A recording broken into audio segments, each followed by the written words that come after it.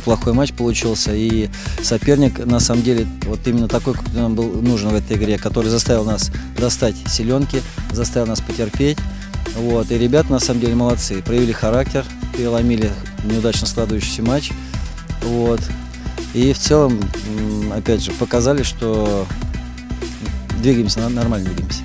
Вообще не было свежести в сегодняшнем матче. Изначально мы, э, у нас два дня предыдущих было по двухразовые занятия, поэтому э, предполагалось, что не будет свежести и оптимального состояния. Вот. Но вот на фоне этого мы проявили свои качества, ребята, на самом деле. Вот. И игра показала, что, э, что и есть, и умение, и все есть, но вот где-то психологически было тяжеловато, но справились.